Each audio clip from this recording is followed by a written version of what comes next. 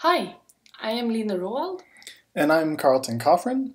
And in this video on convex relaxations in power system optimization, we're going to give a very brief overview of computational hardness uh, with the idea of motivating why we're so interested in convex relaxations of power system optimization problems. Now, it's important to note that computational complexity is a very technical topic with a lot of details in it. And in this talk, I'm really going to focus on giving you a high-level intuition without going into a lot of the details, and some of what I say could maybe be a little bit misleading or confusing, but if you're interested in computational complexity, I would highly recommend this textbook, which I enjoyed a lot when I was an undergrad. For those of you who are computer scientists, a lot of this will be review, but for power the power engineers among you, you may have never have heard of these topics before. I think that's right. okay, great. Um, so let's start with what is computational hardness or computational complexity. The basic idea is that if you have a problem um, with a number of input elements, like n input elements, you want to know how many computational steps are required uh, for to compute a worst case input.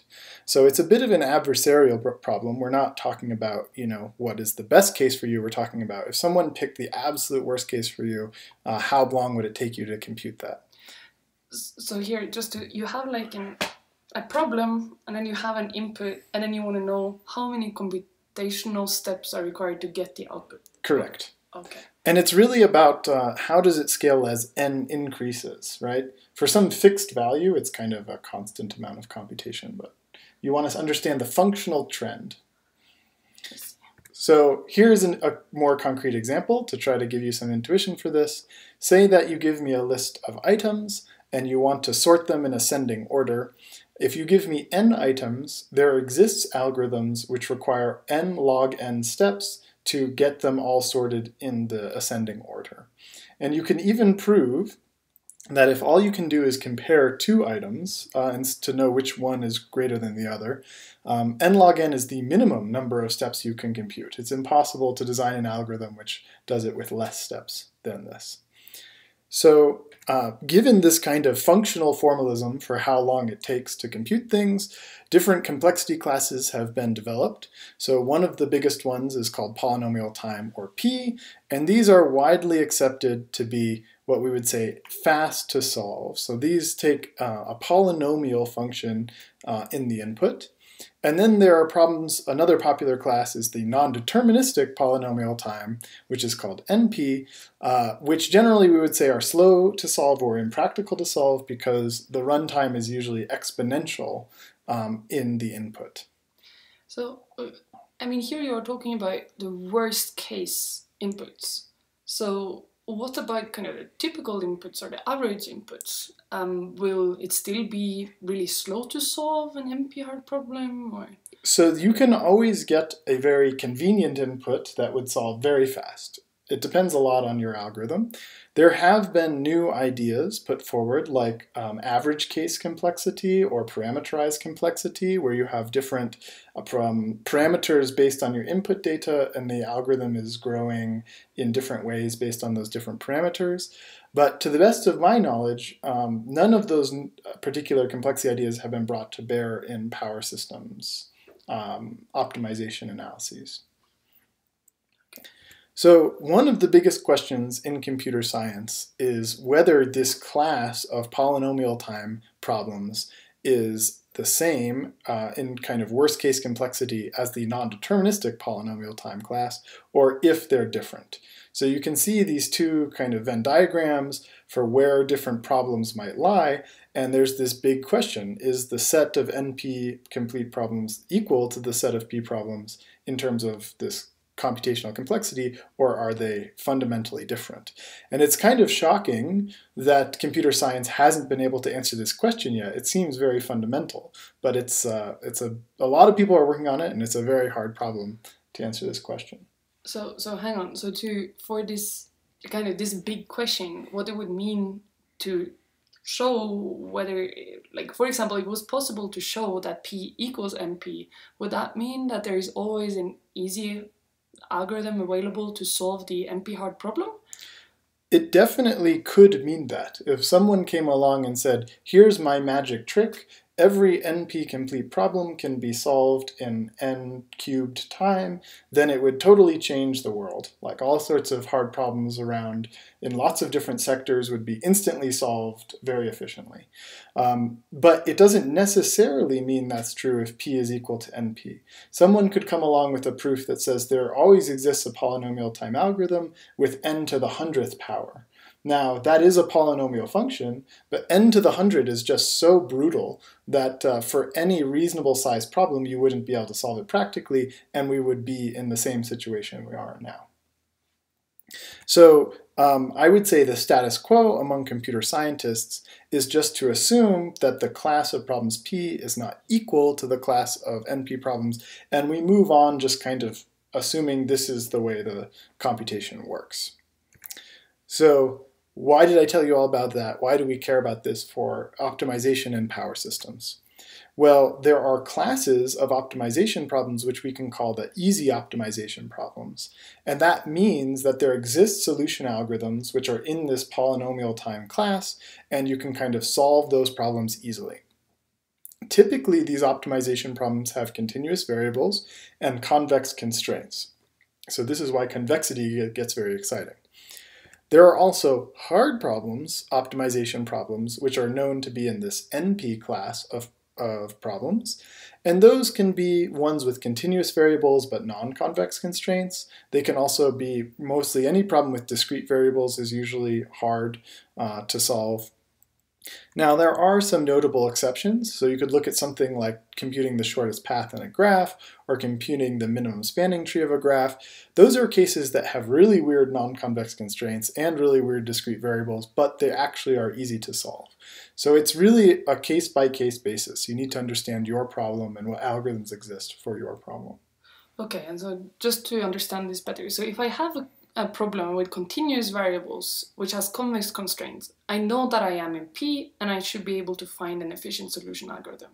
Yes. Whereas if I have a problem which has continuous variables but non-convex constraints, I may or may not have an efficient solution algorithm. Correct. So it could be that I'm still in P, but it could also be that it is an NP hard problem. Correct. Okay. So Let's look at this AC optimal power flow problem and ask the question, well, is it a hard problem or is it an easy problem? Is it in this P class or is it in this NP class? So to start to understand this, we can focus in on this particular constraint, which captures the engineering requirement of having the voltage magnitudes within some bounds. So what I'm showing you here is taking that voltage magnitude constraint and expanding it out into real numbers. So what we have is the real component of the voltage I, the, the imaginary volt, uh, component of the voltage I, and we're squaring both of them because we're taking the absolute square of that complex number. And then we have the lower bound and upper bound um, data that comes from the problem specification. If we graph this particular um, equations, these inequalities on a 2D plane, what you're going to see is a picture like this. So it's basically defining a donut where the less than or equal to constraint is the bigger circle, and the greater than or equal to constraint is the smaller circle. So what this means is that to be for this constraint to be feasible, I want to be in this blue region. Correct. correct? Now, when you look at that in a little bit more detail, you see that this lower bound constraint is a non-convex constraint because it's basically saying I'm outside of the inner circle. Um, so it kind of makes a hole in the feasible correct. space of this constraint. Correct. And this should be raising warning bells that you could be in the class of hard problems. And the reason for that is when you look at continuous, nonlinear, non-convex functions, you can model very complicated and very challenging stuff. So a canonical example is this function, you know, x times x minus 1 equals 0. The only feasible solutions to this equality constraint is when x is equal to 0 and x is equal to 1. And you could imagine that you can use this kind of like discrete structure to encode all sorts of hard uh, problems. So ACOPF might be a hard problem, it might be an easy problem, but you need to do a proof either way to kind of claim that it's hard or it's easy. It's really not obvious when you're at this stage in the game. So the good news is a number of really smart people have done a significant amount of work to show cases when the ACOPF problem is hard. So um, one of these papers talks about if you're just in a tree network and all you're trying to decide is does there exist a solution to this particular AC optimal power flow problem in uh, a tree network, then it's NP hard to decide that. There's other papers which look at, say, uh, mesh networks and show that there's a strong NP hardness within those uh, particular networks, uh, which strengthens the proof a little bit more.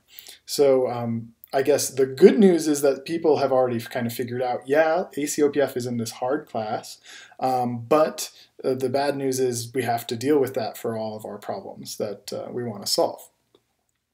So what are the consequences of those two theoretical results? Um, the first one is that this ACOPF problem is a hard problem. You should generally assume it's a hard problem.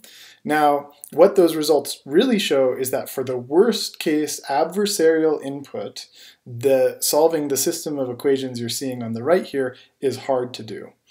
Now, that doesn't mean that for some special sets, subsets of those inputs, it would be easy. So for example, maybe realistic data has a certain structure which is makes this problem magically easy. Uh, another thing that that does not show is that for your favorite variant of this problem, when you go in and you add a new constraint or you delete one of these constraints or modify one of these constraints, that it still remains a hard problem. Now, if you go into those papers and you read them in detail and understand how they work, you'll develop some intuition if the variant you're making to the problem is going to make it easier or harder. But in any case, you really need to um, if you're going to make a claim that your, this problem is easy or hard, you need to uh, show it, uh, prove it. So I think it's important to emphasize that if you claim that your method uh, can solve this ACOPF problem in polynomial time, so say with a convex relaxation, um, for any possible input, it's a kind of analogous to claiming that the P set of problems is equal to the NP problems through this chain of results. Okay, so just here for a moment. So if I had a convex relaxation to the ACOPF, which without any additional assumptions on yeah all this this it was really just looking at this problem hmm. and i was able to claim i have a convex relaxation and it would always be able to solve this problem to optimality then i would essentially be claiming that p equals np um, it's the that's a good first approximation. It it can be much more subtle than that. So, for example, uh, let's say you're building a convex relaxation, but the size of the relaxation is exponential in the uh, input to the power pro flow problem. Then, actually, your convex relaxation may always give you the right solution, but your the algorithm's runtime is growing exponentially with the um, the size of your relaxation. Mm -hmm. So it's it's a very subtle thing, and you have to be extremely careful um, when you're going to make claims of this kind. Okay. I mean, I would recommend if you're going to make such a claim to get uh, a proper computer science complexity theorist on your team and make sure that they really sign off on it because it would be a very significant result. Now, just to give you the magnitude of what it means to say something like P is equal to NP, you would be instantly famous, you would go down in the history books, there's a million dollar prize out there for, for solving this problem, and uh, you'd get the Turing Award, which is like the biggest prize in computer science. So it's, um, I would say, it seems quite unlikely that this result would come through the power systems kind of research avenue, but uh, it would be really cool if it did. it would be. It would be. But proceed with caution. uh, so now, all that said, I don't want to discourage uh, the use of convexity for solving problems in practical purposes. So um, one thing that's worth noting is that what we've seen in practice is that it's very easy to find high quality solutions to ACOPF on realistic data sets for the toy academic problem that we've been discussing in this uh, lecture series. And a plausible explanation for that is that the data in realistic problems has some structure which this worst case theory does not capture, and we, um, we're just kind of missing it because it's hard to analyze um, how complex a problem is when it depends a lot on the input data. Okay, so what you're saying is that the realistic type of input data might actually make it easy. Yes, e- definitely it might make it much easier than these worst case bounds that have been uh, shown in the literature.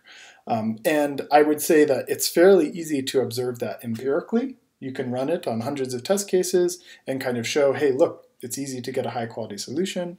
Um, but proving it for you know some particular class of general inputs is extremely difficult. Mm-hmm. So, what some people have been doing to try to address this issue is that they've proposed variants of the ACOPF problem that we've been talking about the, in these lectures.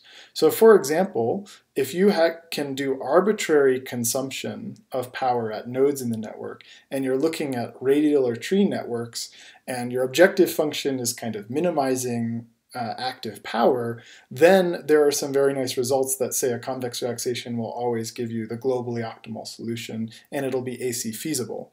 There's a similar result uh, for mesh networks where you also have phase shifting, and I've referenced two papers which you can go and read the details of those proofs. But um, the basic idea here is that if you have a particular problem you're trying to solve and it, you can modify the problem formulation in such a way, um, potentially you could turn this otherwise hard problem into an easy problem and have a very practical algorithm.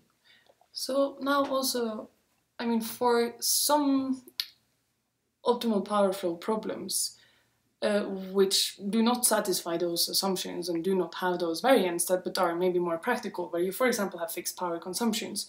Some of those relaxations have all also been shown to work very well correct. right? So or for many many realistic problems. Mm-hmm. so is that also that is also linked to this the idea that you are able to find high quality solutions to the ACO OPF on realistic data sets that is also linked to the fact that convex relaxations that have been proposed in literature often provide good results. I, yes, I think all of these are connected concepts. So if you design, say, a polynomial time algorithm for solving ACOPF, and uh, and you observe on all, you can't prove it that it's going to always going to work, but you observe on all real data sets it always works. That is a very compelling evidence. It's not a proof, but it's it's maybe a good hint that you should get a hardcore theory person on board and like really study if there's a structural property you can prove analytically. Mm-hmm. Um, so, and I would I would just mention that this whole idea of understanding the computational hardness of ACOPF and power system optimization in general is a very active area of research. So, um, you know, look to the most recent literature. There's probably lots of interesting results that we haven't discussed here. Okay, so then I should maybe try and say what I am taking from this um, as the power systems person in the room. Um, so to recap, um, what Carleton has told us here is that there are these different classes of problems and that actually the AC optimal power flow is really hard to compute in general. So you could find a really bad set of inputs that would make this problem really hard. And what is sort of the takeaway for us as power engineers is that when we are working on this, or I mean, uh, really, really for anyone, is that we cannot really assume that the AC optimization problems are easy or hard without providing analytical proofs or really very extensive computational experiments. Because there might exist cases where they are hard or they are easy. Okay, so then getting to what is coming next here, we are going to look at a review of established solution methods for AC optimal power flows. So essentially, how do you how do we kind of traditionally solve these nonlinear optimization problems with um, non-convex constraints? Um, and then we are going to provide uh, an intuition for how it is possible to convexify the AC optimal power flow.